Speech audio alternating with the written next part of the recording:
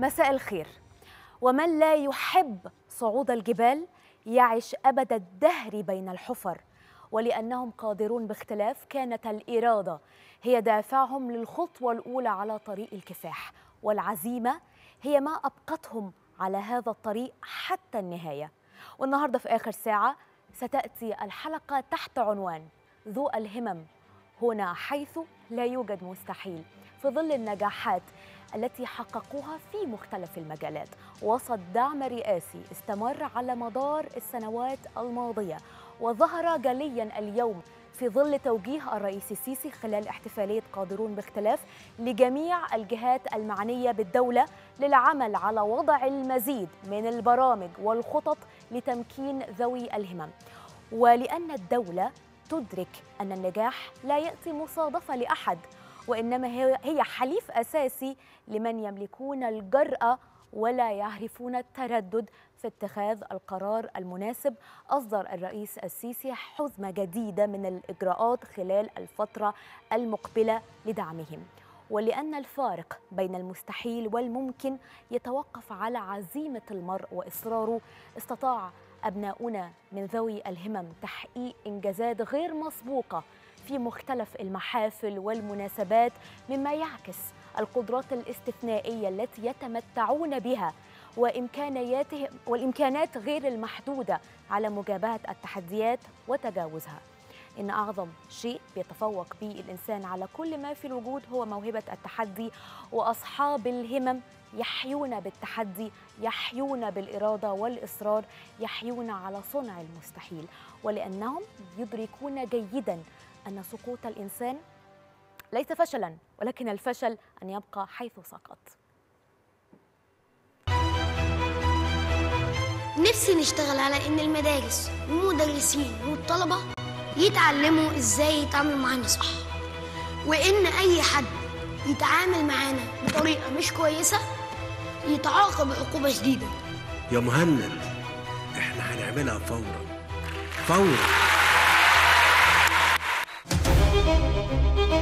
مهند كان سفير الطفولة وحلم هنا في نفس المكان مع قدرون باختلاف إن يكون في مادة احترام الآخر بتدرس في المدارس.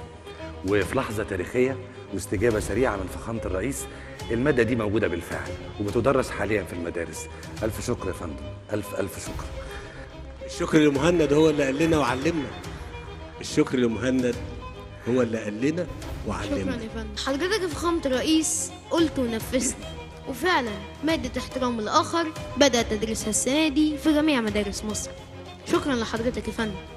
وإن شاء الله بمادة احترام الآخر واحتفالية قادرون باختلاف كل سنة ودعم وتشجيع حضرتك لينا هنغير كتير في المجتمع.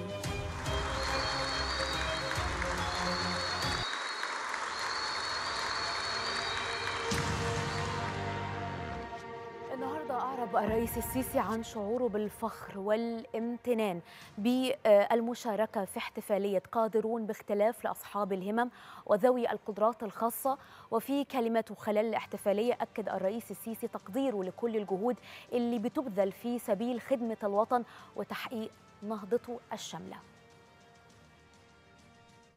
أود بداية وقبل كل شيء أن أعرب عن تقديري لكافة الجهود التي تبذل في سبيل خدمة هذا الوطن الغالي وتحقيق نهضته الشاملة في شتى المجالات. وأخص منها تلك الجهود المعنية برعاية ودعم وتمكين بناتنا وأبنائنا من ذوي الهمم والقدرات الخاصة أصحاب الهمم العظيمة كما أود أن أؤكد لكم من جديد أنني أشعر بالفخر والامتنان لمشاركتي معكم اليوم في تلك المناسبة التي أضحت تقليدا نحرص عليه وواحدة من أهم جسور التواصل الممتد والمستمر بيننا وأصبحت بذلك أحد أعياد الوطن الذي يحتفي يحتفي خلاله بأبنائه من ذوي الهمم. وجه كمان الرئيس السيسي جميع الجهات المعنية بالدولة للعمل على وضع المزيد من البرامج والخطط لتمكين ذوي الهمم كما كشف عن حزمة جديدة من الإجراءات خلال الفترة المقبلة لدعمهم. تضمين المشروعات المنفذة. ضمن مبادرة حياة كريمة في جميع المحافظات لكافة المتطلبات والاحتياجات المجتمعية والثقافية والرياضية والتنموية الخاصة بذوي الهمم. ثانياً التوسع في مجالات تدريب وتأهيل المعلمين بآليات ومهارات وأسس الطرق الحديثة في التعامل والتواصل مع ذوي الهمم من أجل تمكينهم من التعلم والتحصيل الجيد والتفوق في مختلف المجالات الدراسية والعملية. ثالثاً قيام قطاعات الإنتاج الفني والثقافي بإنتاج العديد من الأعمال الدرامية والثقافية التي تستهدف إبراز قدرات وإبداعات ذوي الهمم وإسهاماتهم في بناء الجمهورية الجديدة. رابعاً قيام كافة الهيئات الشبابية والرياضية بتوفير برامج وأنشطة مخصصة لذوي الهمم تستهدف رفع لياقتهم البدنية وصقل مهاراتهم الرياضية. خامساً التنسيق بين أجهزة الدولة المعنية لصياغة برامج تستهدف تدريب وتشغيل الشباب من ذوي الهمم لصقلهم بمتطلبات سوق العمل في مختلف قطاعات التشغيل مما يفتح مما يفتح لهم آفاق المستقبل.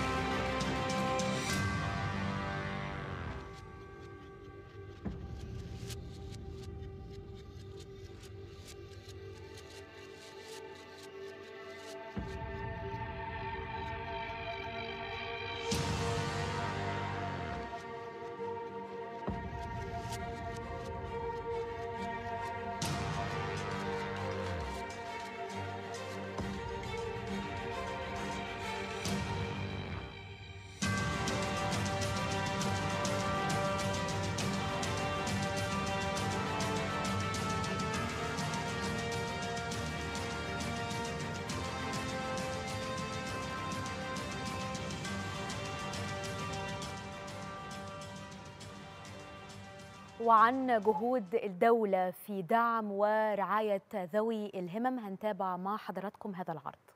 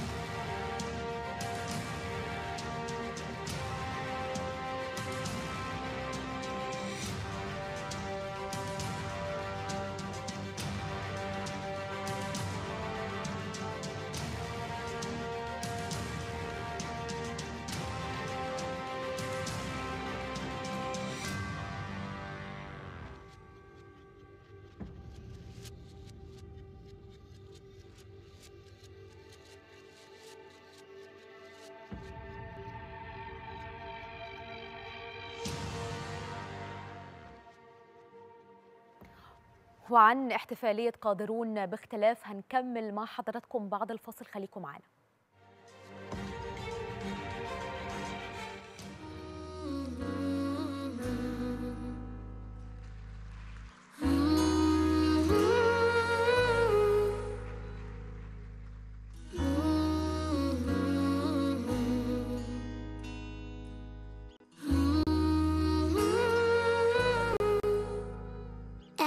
من القلب.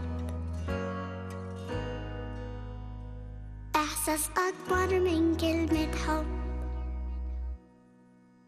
إحساس إن أنت معايا ده دايما بيطمني. وفي وقت الجد بتكون لي سند وإيديك تتمد. تملي وعمرك ما تخلت يوم عني. في ناس بتضحي بروحها عشان الباقي يعيش لما أقولك شكرا مليون مرة دي ما تكفيش.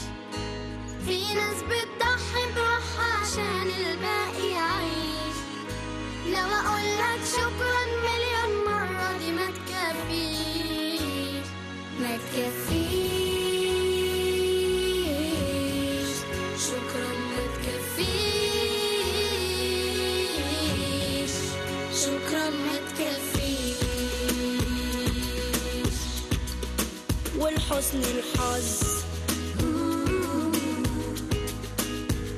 عمرنا ما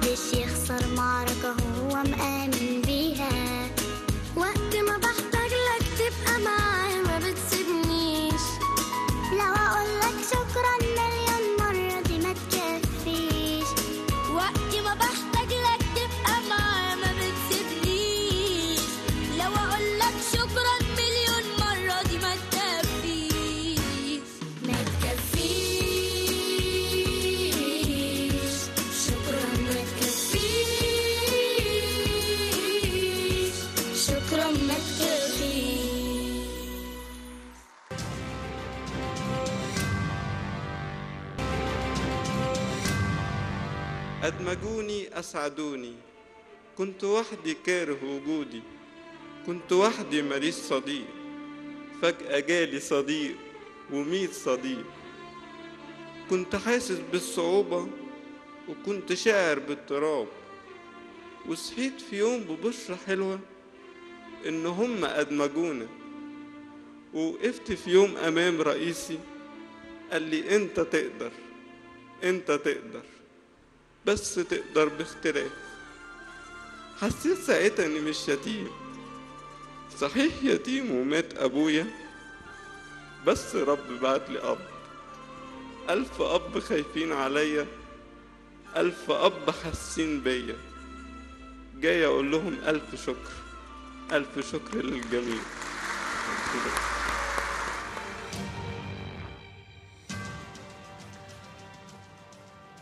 بتسعى الدولة جاهدة لترسيخ حقوق ذوي الهمم في كافة مجالات الحياة. عندنا سنة 2018 كان عام لذوي الإعاقة وهو ما بيعكس اهتمام القيادة السياسية بكل فئات المجتمع. الأمر اللي بيعد آه، في حد ذاته خطوة مهمة لاكتشاف قدرات تلك الشريحة وفي نفس الوقت بنحسسهم دايما بإن هم ليهم حق الإندماج في المجتمع وتوجيه لكافة مؤسسات الدولة لتنفيذ ده. من المؤكد إنه القيادة السياسية بتحرص دائما على تمثيل آه، ذوي الهمم في كل فعالية للتأكيد دايما على أهمية آه، آه، يعني أخواتنا وشركاء الوطن والمستقبل وايمانا بإمكانياتهم المذهلة. وزي ما شفنا في احتفالية النهارده والنسخة الثالثة من قادرون باختلاف النماذج المذهلة الجميلة من أبطال آه، حققوا إنجازات رياضية وفي كل المجالات. تفاصيل أكتر هنعرفها طبعا مع ضيوفي آه، اللي معانا النهارده. أرحب آه، في الاستوديو بالجميلة آه، هبة عاطف. هي أول مرشدة سياحية من متلازمة داون. أهلا وسهلا. أهلا بحضرتك. كنتي منورة النهارده. شكرا جدا. معانا عبر ال DTL دكتور هبة هجرس عضو المجلس القومي للأشخاص ذوي الإعاقة. برحب بيك يا دكتور. أهلا وسهلا كل سنة وحضراتكم وحضرتك طيبة وبألف خير. آه، معانا كمان على الهاتف دكتورة مها هلالي عضو المجلس القومي للأشخاص ذوي الإعاقة. برحب بيك يا فندم. طيب آه، هبة يعني النهارده انت كنتي منورة والنهاردة كنتي بتتكلمي كده بأريحية وشفناكي قد إيه كنتي مبسوطة. كلمينا عن آه، الاحتفالية النهارده ومشاركتك فيها. الاحتفالية النهاردة يعني دي مش أول مرة أقف قدام الرئيس. دي تاني مرة. تاني مرة تقفي قدام. آه. آه، لأ حاسة إن أنا مرتاحة. أنا إعلامية أصلا وكمان أنا مش حاسة بخوف. انت أصلا إعلامية. آه قدمت في ملتقيات محلية ودولية كتير. قدمتي في, في أكتر من مكان في أكتر من آه. منطقة. انت خريجة إيه أصلا؟ أنا خريجة كلية إعلام قسم إذاعة وتلفزيون. زي يعني. زمايل. طيب آه، هبه انت أول مرشدة سياحية صح كده؟ الحمد لله. أيوة. موجودة طبعا يعني آه، في أحد المتاحف المهمة اللي موجودة في مصر. كلميني بقى عن تجربتك. هي تجربة حلوة جدا. يعني ما نقولش تجربة وليها تريننج تدريب. تدريب. أيوه. آه لا آم، تدريب حلو جدا. أنا البنات كل اللي معايا آه يعني بيحبوني جدا كل اللي معاكي. بيحبوكي وبيدعموكي هناك في المتحف آه يعني أخدت العربي خلصته وبعد كده دخلت في الإنجليش. يعني الإنجليش انت لسه بتتمرني فيه آه بس الحمد لله مم. يعني اتمرنت بقت تمام تمام. طيب آه، دكتور آه، هبة آه، يمكن إحنا شفنا حالة كده من الموده والألفة والشعور الإنساني المتبادل بين الرئيس وبين كمان الأطفال اللي كانوا مشاركين النهارده وقد إيه كان يعني جو وكان في جبر خواطر عظيم جدا. شفتي النهارده الاحتفالية إزاي؟ وكلمينا كمان عن أهمية هذا الدعم. الحقيقة ما تم النهارده هو اللي بيتم كل سنة هو تجديد للعهد ما بيننا وبين فخامة الرئيس الرئيس بياخد أولاده في حضنه آه، بيبقوا سعداء جدا بإن هم يحسوا باهتمامه ورعايته وكمان بيجدد عهد آه، ما اتفق عليه معانا برعايته وأن تكون كل قراراته منفذة لصالح الأشخاص ذوي الإعاقة. الأشخاص ذوي الإعاقة في حياة الرئيس آه، بند أساسي وليس فرعي وليس آه، مجموعة من الناس آه، أفتكرهم شوية وأنساهم شوية لأ إحنا طول السنة بنحس إن كل الوزراء كل الأماكن التنفيذية بتقوم بعملها آه، بشكل جادي وببذل جهد قوي لأن فخامة الرئيس مهتم بهذا الملف شخصيا. فاللقاء ده الحقيقة بيعتبر تجديد عهد وكمان عشان إحنا آه، بنسعد بان هو بيطلع بمجموعة قرارات آه، بتبقى مهمة جدا إن كل الوزارات وكل الجهات الخدمية بيتبعوها. وطبعا السنة دي كانت حاجة هايلة هايلة الخمس قرارات اللي طلع بيها آه، فخامته. وهنتكلم عنها طبعا هم خمس قرارات وهنتكلم عنهم بالتفصيل. بالظبط. آه، دكتور آه، مها يمكن النهارده الرئيس تحدث عن عقوبة آه، التنمر ضد طبعا ذوي الهمم الاشخاص ذوي الهمم. لو اتكلمنا عن ال- الدستور بشكل عام دستور 2014 آه، وأهم المكتسبات اللي حصلنا عليها أو حصلت عليها هذه الفئة خلال طبعا السنوات الماضية أهم هذه المكتسبات يا دكتور مها. اتفضلي. هو طبعا الدستور 2014 آه، جاء الحقيقة بمشاركة من الأشخاص ذوي الإعاقة يعني كان في تمثيل للأشخاص ذوي الإعاقة وده اللي كانت الحاجة المهمة لأن في مبدأ اللي هو لا شيء عنا بدوننا إن لابد من تمثيل أشخاص ذوي الإعاقة فيما يهمهم. وبالتالي كان في آه، تسع آه، مواد منهم مادة آه، 81 ودي أهم مادة اللي هي بتتكلم عن التمييز آه، ضد الإعاقة وبقية المواد ذكرت فيها الإعاقة وبالتالي ده كان مكتسب كبير جدا ونتج عنه بعد كده خروج القانون في 2018 آه، والقانون آه، خرج في فبراير 2018 وقبل ما تخلص السنة آه، سيادة الرئيس طلع يعني كان طلعت اللائحة التنفيذية وصدق عليها وبالتالي كان لابد من بدء تنفيذ القانون من إبريل 2019 وده اللي فعلا زي ما الدكتورة هبة هجرس قالت شايفينه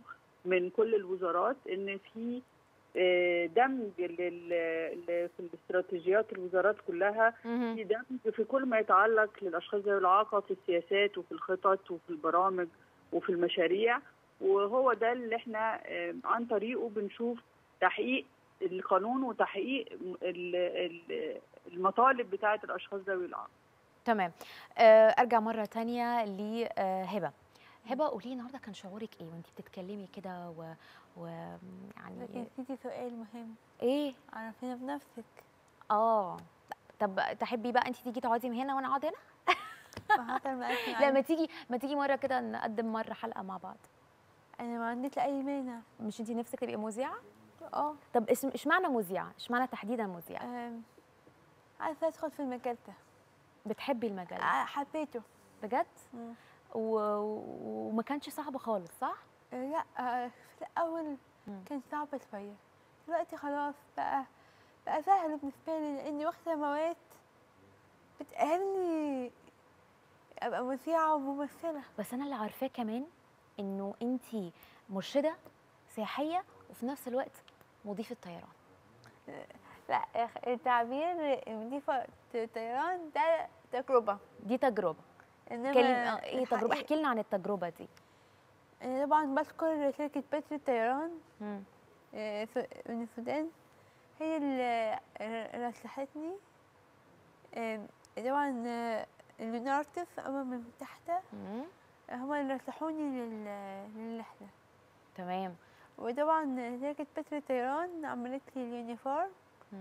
ويوم السفر لبسته وطلعت على الله. انبسطتي؟ إحساس أول مرة وكنت إحساس أول مرة كان في في رهبة شوية. مم. بس لأ بقيت خايفة. خفتي في الأول وبعد كده خلاص. خلاص. طب أنا برضو عايزة أعرف عن إحساسك النهارده.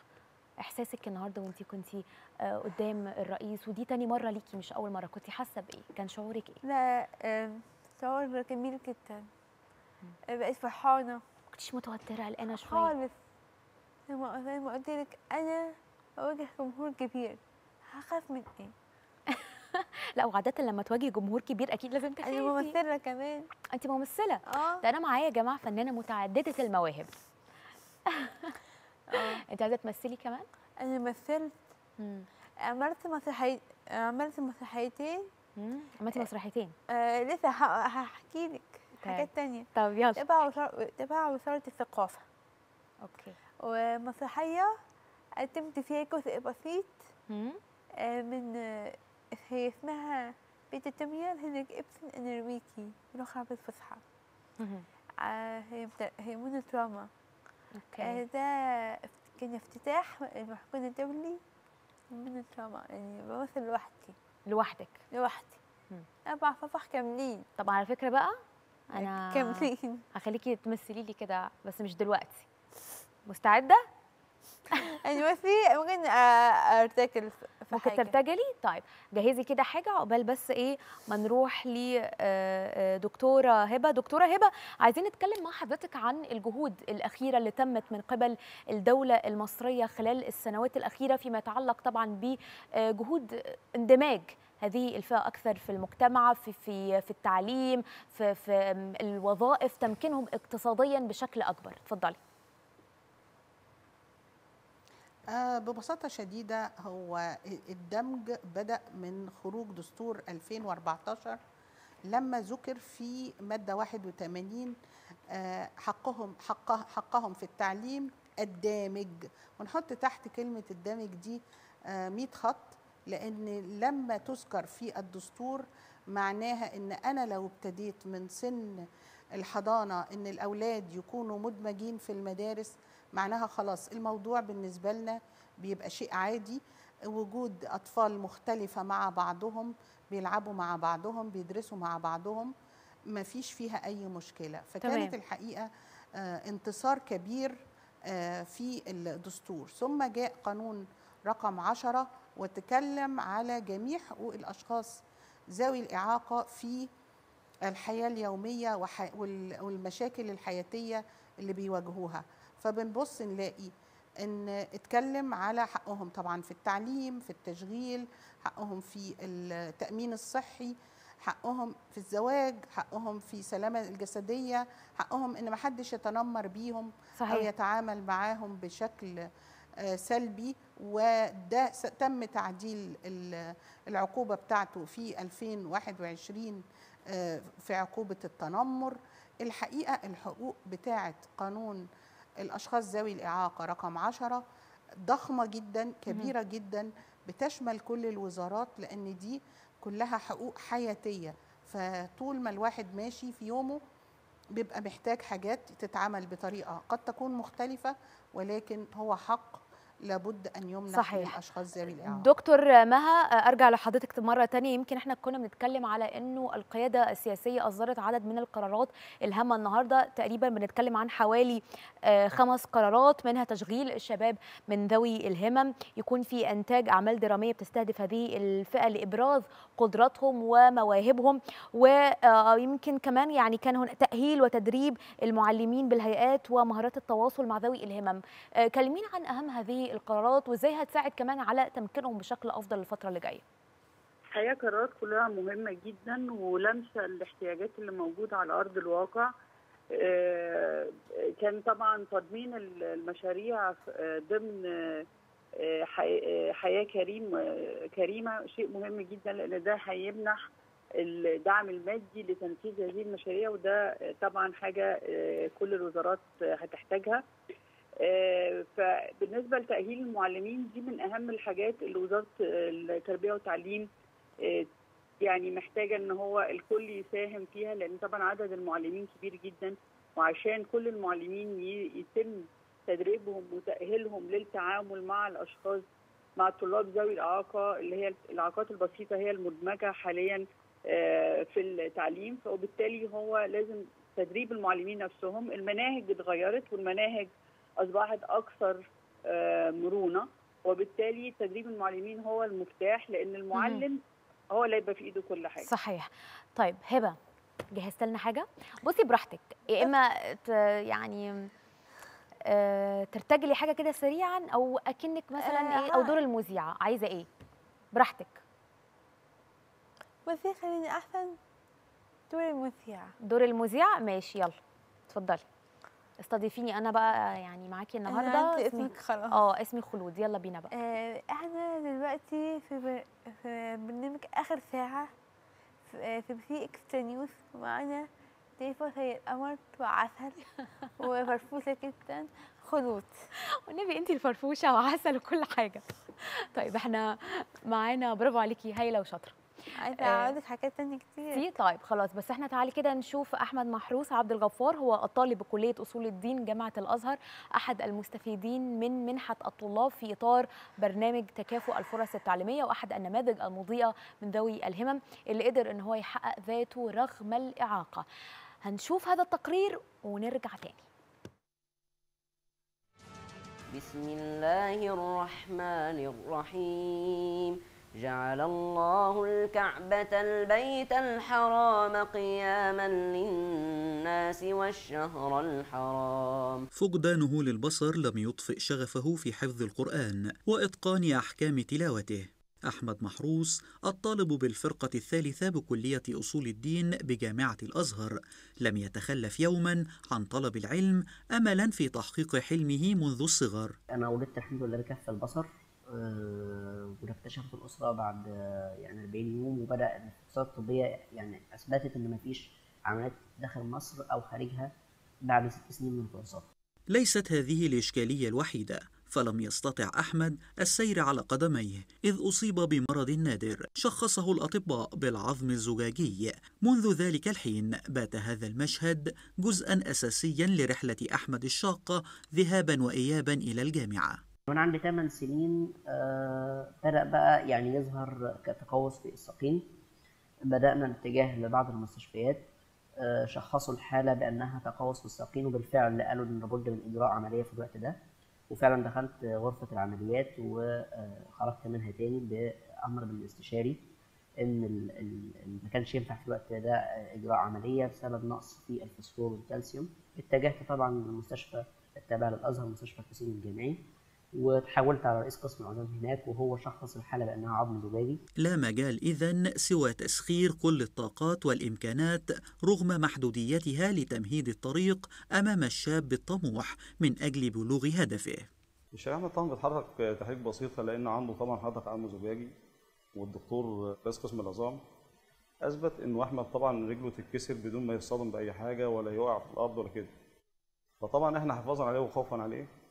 بنشيله وما نخليش يمشي مسافات طويلة يعني ممكن يمشي 5 6 متر ولازم يكون حد ساند طبعا أخوه معاه أنا معاه برضه فما بنسيبوش يمشي في أي مكان لوحده يعني أحمد محتاج يعمل عمليته على أعلى مستوى مستشفى حلوة يعني حد يهتم بيه بعمليته لأن هو مش حمل قصور كتيرة ومش حمل إن هو يتبهدل ويخش وتطلع عمليته غلط أحمد محتاج شقة جنب. جنب. جنب الجامعة منذ أن تلمس أحمد طريقه التعليمي كان التفوق حليفه حيث حصد المراكز الأولى في كافة المسابقات العلمية وحفظ القرآن الكريم ليكون نموذجا فريدا في قهر الإعاقة وإثبات الذات. إحنا برضو معانا كده يعني ضيف جميل بعد الفصل هتقدمه هبة. معانا مين بعد الفصل معانا ه- مش هقول دلوقتي بس لا قولي. هتشوفوه بعد الفاصل لأن هو عامل حاجات حلوة جدا وجاب وبجد إنسان تح... يعني تحسه كده طيب بيضحك بيحس بالناس بعد الفاصل انت هتشوفوا على مين بالظبط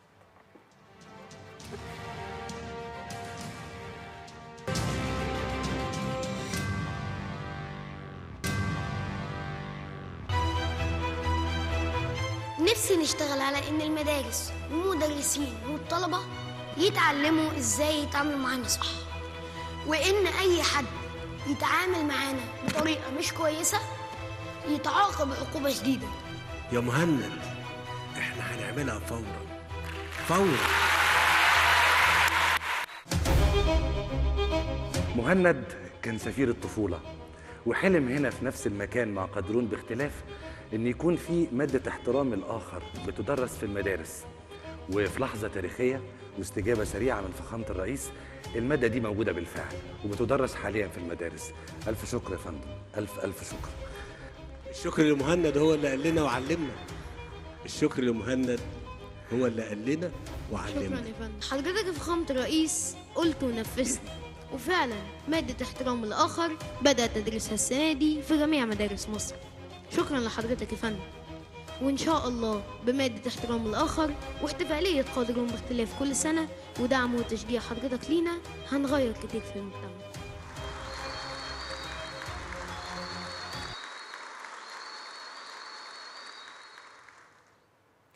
انضم إلينا في الاستوديو مهند عماد هو صاحب فكرة إضافة مادة آه، القيم واحترام الآخر. آه، بالمدارس. برحب بك يا مهند. ازي حضرتك يا أستاذة خلود؟ أخبارك إيه؟ عاملة إيه؟ أخبار كله حضرتك تمام؟ إيه؟ إزيك يا هبة؟ الحمد لله. شفت هبة قدمتك إزاي؟ لا لا تقديمة جميلة. لا بس أنا بصراحة آه، بحييك على الثقة دي. ربنا آه، يخليكي مش. أول مرة إن أنت تشارك آه، وأعتقد كمان هي أنت كمان هبة مش أول مرة تشاركي كمان في آه، الاحتفالية دي. دي تاني مرة آه تشارك. تاني مرة لينا مع بعض إحنا الاثنين أنا وهبة. صح. وأول مرة أنت كان ليك طلب. أيوه. إنه تدرس مادة احترام الآخر في المدارس في وجامعات المدارس. ومن أول حضانه كمان. طيب الطلب ده لما نفذ بقى كان شعورك إيه آه، ساعتها؟ شعور رائع. لا يمكن وصفه بصراحة. آه شعور إن أنا سرور بهجة سعادة فخر. يعني أكتر من مليون شعور يترصوا تحت خانة فخر. مم. ليه بقى؟ لأن الفخر هو أكتر حاجة أنا حاسس بيها دلوقتي. تحتيه بقى يترص كل الحاجات اللي أنا قلت عليها مهم. كان شعورك إيه النهارده وأنت كده قاعد وبتتكلم مع الرئيس؟ وأنا ما شاء الله شايفة ثقة بالنفس وكاريزما رهيبة. ربنا يخليكي والله يا فندم. ده من ذوق حضرتك. ده من ذوقك انت والله. قولي بقى كان إحساسك إيه وشعورك إحساس ما أنا زي ما قلت لحضرتك. إحساس مش مش هقدر أوصفه. إحساس رائع جدا. يعني بيد بي- بيمزج بين الرهبة والسعادة القلق والراحة. يعني أحاسيس متلخبطة من واحد متلخبط. أنت كمان آه، مهند أنت كمان سفير للطفولة. ف يعني قولي اللقب ده بيمثل لك إيه وكان دورك إيه آه وقتها؟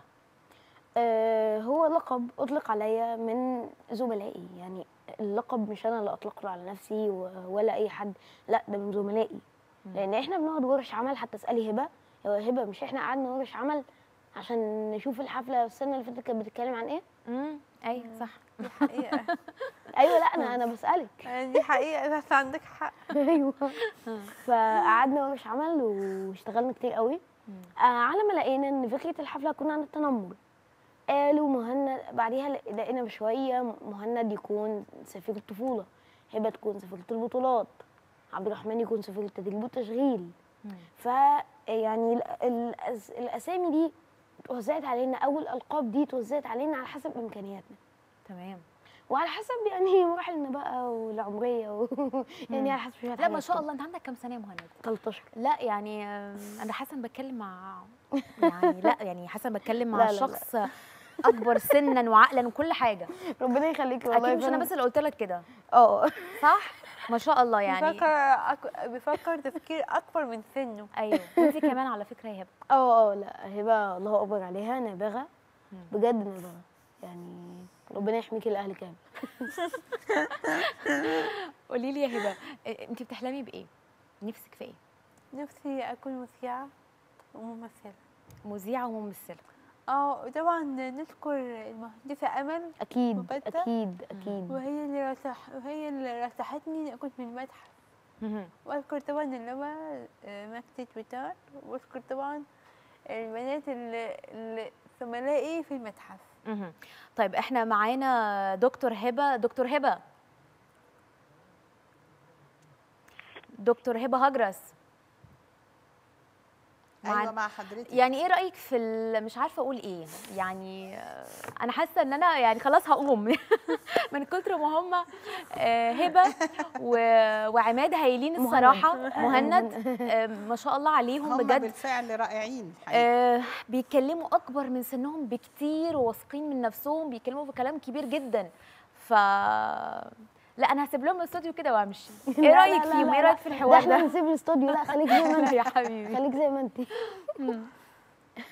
آه، مادة احترام الآخر اللي كان آه، بيتكلم يعني. عنها عنها برضو مهند آه، مهمة جدا وطبقت الحمد لله دلوقتي في في المدارس. أهمية ده إيه؟ فكرة احترام الآخر وقبول الآخر وعدم التنمر يكون في احترام ما بين الناس. هو الحقيقة فكرة الاحترام الآخر دي هي الأساس اللي بتبنى عليه المجتمعات لأن ما فيش. اتنين في الحقيقة زي بعض يعني إحنا لو جينا نتكلم على أسرة من ثلاث أخوات هنلاقي كل أخ شكل وكل أخ دماغ وكل أخ ما بيجمعهمش. غير الأم. والأب ولكن كل واحد فيهم شخصية والأم والأب كمان كل واحد شخصية فإزاي نتعايش وإزاي إن إحنا نحترم بعضينا ونسع وصدرنا يسع الآخرين ده مهم جدا والحقيقة هو بيبتدي من الأسرة صحيح. ثم ينتقل للمدرسة وعلشان كده آه، مهند إحنا فرحنا بيه السنة اللي فاتت شكراً ليكي لما والله يا طلب دكتور. آه، المادة اللي تضاف يا مهند أنت كنت رائع السنة اللي فاتت شكراً. ليكي. والسنة دي كمان يا. دكتور والله المادة. يعني كان رائع آه، ال- لا، ال- الأساس- في السنة اللي فاتت. والسنة دي مم. صحيح آه، ما شاء الله عليهم آه، وضع أساس احترام الآخر بيخلينا نحترم كل شيء وما يخليش فيه خلافات غير خلافات فكرية ومن حق صحيح. كل واحد بلا شك إن يكون عنده فكرة مختلفة عن الآخر ولكن أنا بحترم فكرة حضرتك وأنت بتحترمي رأيي وبالتالي ما يحصلش مشاحنات ولا خناقات ولا بعد كده نطلع لعالم الحروب والخلافات السياسية الضارية. مهند آه، هبة يعني خلينا متفقين إنه كلنا بنتعرض للتنمر. أكيد. كلنا. أكيد. آه، ولكن هل شايف إنه يعني في الوقت الحالي الوضع اختلف شوية ما بقاش فيه تنمر زي الأول؟ بكل صراحة. آه، أنا شايف الوضع اختلف لكن أنا بعيني أنا يعني أو ب... ب... يعني ببصيرتي أنا للموضوع أو برؤيتي أنا للموضوع ما أقدرش أحكم. لأني أنا الحمد لله يعني ما مريتش بظروف تنمر قاسية. لكن في ناس هم اللي يقدروا يحكموا إذا كان الموضوع اختلف أو لأ. لكن أنا الحمد لله في مدرسة كلها مكفوفين ف لكن ما فيش ما فيش تنمر ما بيننا. يعني مش شايف يعني إن التنمر هبة. موجود بالنسبة لي آه، قوي لا التنمر ده شيء صعب. شيء صعب. آه. طبعا. يعني ما أقدرش أقول أكتر من بقول. لحضرتك وكمان انت السؤال اللي أنا قلت لك اساليه حاضر. بس إحنا آه آه، هي طبعا هبه عايزة تعرف عن نفسها آه، أكتر. و- وه وه. وهسيبك طبعا تتكلمي براحتك. بس ه يعني هروح آه سؤال أخير لدكتور مها هلالي. دكتور مها أنا برحب بحضرتك مرة تانية. معانا وانضم لينا في الاستوديو آه مهند ومعانا كمان الجميلة آه هبة. خليني أسأل حضرتك عن آه إيه المطلوب الفترة اللي جاية علشان يكون في تمكين أكتر وعلشان كمان آه نديهم المزيد من المكتسبات؟ اتفضلي. هو طبعا أهم حاجة هو المشاركة. يعني أي دمج في المجتمع في المدرسة في العمل بنقيسه بمدى إتاحة المشاركة. فبالتالي إن عشان نتيح لهم المشاركة لازم نعمل إتاحة في المجتمع عموما. يعني اللي عنده إعاقة حركية لازم نعمله إتاحة فيزيقية بحيث إن هو يقدر يوصل لكل الخدمات ولكل ال- الأماكن اللي هو عايز يروحها ال- الترفيه اللي هو عايز يبقى يروحوا الرياضة اللي هو عايز يمارسها. ونفس الحكاية اللي عندهم اعاقات آه، بصرية أو سمعية محتاجين الإتاحة في المعلومات إن هي. توصل لهم بالطريقة اللي هم يقدروا يتعاملوا بيها. فبالتالي اللي إحنا محتاجينه دلوقتي إن إحنا نزيد من فرص مشاركة الأشخاص ذوي الإعاقة بإن إحنا نزيد الإتاحة ليهم في المجتمع ككل. إن شاء الله. دكتور مها هلالي عضو المجلس القومي للأشخاص ذوي الإعاقة. شكرا لحضرتك. دينا هبة. قولي لي بقى. يلا عرفينا عن نفسك. أنا اسمي هبة عاطف علي أسعد. عندي أربعة وعشرين سنة أصغر إخواتي. آم، أنا خريجة آه، كلية إعلام قسم إذاعة وتلفزيون وبتركز بتقدير جيد جدا. ومشروع تخرجي بتقدير الامتياز شاطرة. آه، كمان أقول كمان إن مشروع التخرج أنا مثلت فيه. مثلتي في مشروع التخرج بتاعك. يعني القصة والرسالة اللي أنا اللي أنا حطاها جميلة جدا. كانت عن إيه؟ إيه ل Down syndrome مم. المساعدة والدعم لل إيه لا عايزة أقول بقى قطوط خاصة لأ. مم. أنا عايزة أقول حاجة واحدة. اتفضلي. يا ريت يعني لما نقول قطوط خاصة واحتياجات خاصة حرام. ليه بنقول في قانون باختلاف؟ آه دي دي حاجة مهمة أوي. وكمان ما من يعني صح معاكي آه. حق. نقول قادرون باختلاف. وكمان عايزة أقول كمان إن أنا كده عرفت ان في في حاجة صغيرة جدا. اتفضلي. عن التعليم. يعني زي ما بنشوف في عباقرة عباقرة مدارس عباقرة عائلات جامعات.